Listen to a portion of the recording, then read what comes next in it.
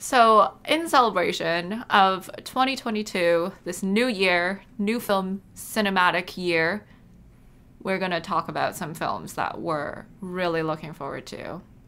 We already went through 5, 4, 3. Now we're on to our top two that we are most excited about. And then we'll potentially pop in some other shout outs and Yes. and movies that we're interested in. Because we actually have more than five each. We each have a bunch that we're looking forward to.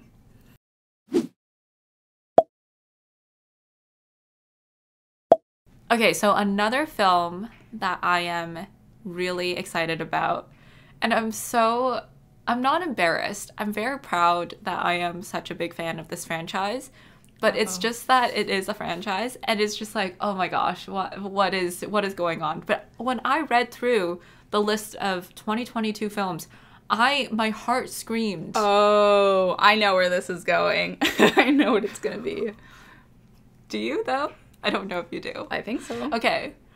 So Mission Impossible 7 is coming out. Oh, you so you do. I knew it. and I love that franchise. I I have no idea why. It's like an irrational love for the franchise. And and I know that there are lots of things that are wrong with it and the fact that like it's so completely not believable in terms of how it all plays out, what Tom Cruise can do, all of those different things, and that it keeps going on and on.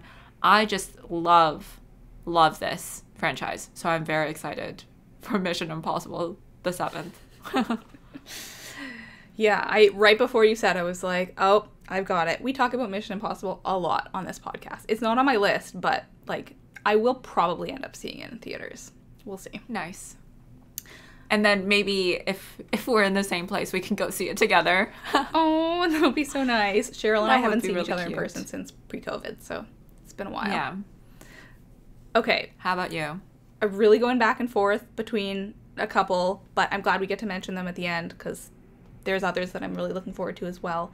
But this next one is called Luckiest Girl Alive, and it's only on my radar because I read the book. It's just like she said.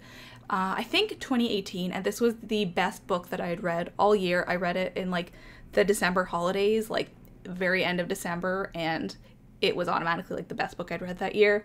I don't even know how to describe it except for it's about this girl who, like, on the surface seems like she's extremely lucky, uh, very privileged, has had a ton of opportunities, but you sort of look back at her life and see how everything is very, very constructed and it's not at all what you think. This film was actually filming like very very close by to me here in Toronto a little while ago. Actually, the gym I go to had like a sign up that was like this film is filming here. And I was like, "Oh my god."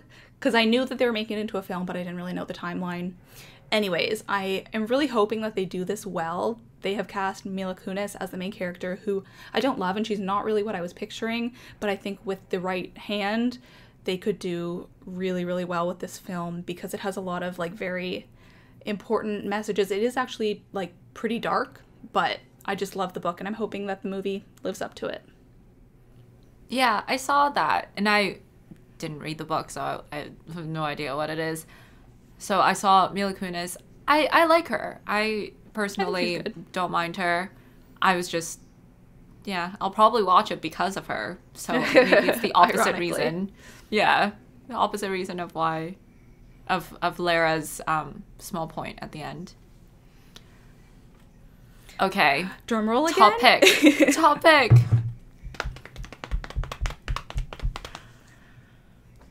It's Babylon, It's which what? is Babylon. this is not on my radar. Wait, did I get it? I must have gotten it right. It's the Damien Chazelle one. Oh, I did see that on the list. Yeah. So Damien Chazelle, new film by him, and also it is with Brad Pitt and Margot Robbie, and just very, very excited.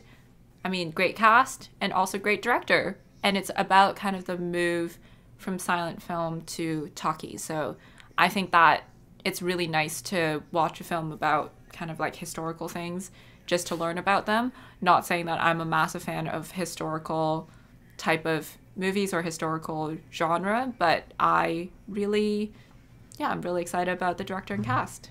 Mm-hmm. I was surprised. So I assume we didn't have that as an no. overlap. I thought we might. No, I, I was surprised that he was attached to this project. Although I guess Damien Damien Chazelle has kind of gone all over the place with the kind of projects he does. Like there's not really any like one genre that he sticks to. So that's pretty neat. Um, but I don't know, this could kind of go either way for me. I, I feel like I might I might be interested in it, I might not. We will have to wait till the trailer to find out. My And your top pick? So actually, I chose this one because it is a director that I am very interested in, similarly to Damien Chazelle, um, but not the same director. So this is Jordan Peele's next film. Nope. I may have That's on my list too, but Really? like lower down. okay, so we have some overlap. Um, Yeah. I maybe we mentioned this on the podcast before, but like when the poster released, it was so funny because it's it's kind of a weird poster. Like it literally just says "Nope" on it. I I thought it was it was very well done, just the way that they decided to release it, and even the fact that like the title is kind of a joke, but kind of like an in kind of term.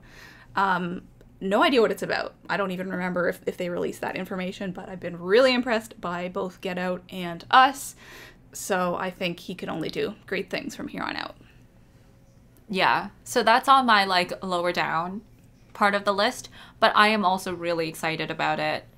Um another film that I'm excited about, which is not the top 5 is Disappointment Boulevard. Yes, that was the one. Okay, so sure we do have include in the top crossover. five. Yeah. Yeah. I didn't. And I think it's yeah, go well, this surprised me because I thought that you didn't like horror at all. Well, as you can tell, it is lower down on the list, and so that's probably why. it's because I'm not massively into horror. I I watch it because I think that it's it can be a very clever genre, and I think mm-hmm.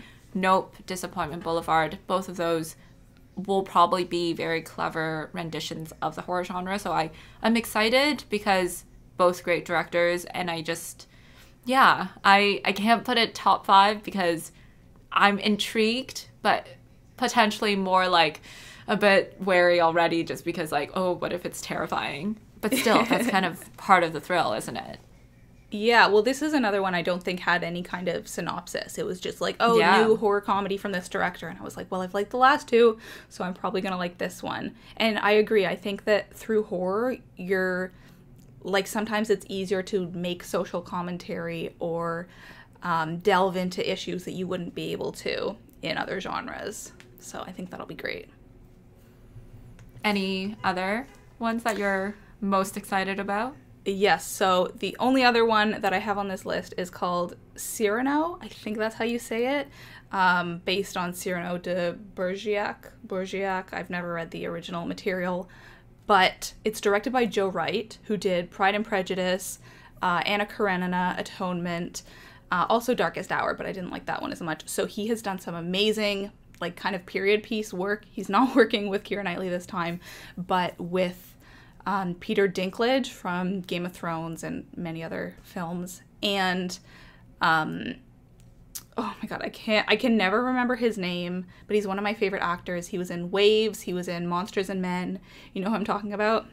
I do know who you're talking about. Kelvin Harrison Jr. There we go. Yes. Um, so he's one of my favorite actors, and he's in it. I've never seen him in a period piece before, so I think that this film it has a lot of elements that I'm really interested in, and it comes out early January, I think. So pretty soon.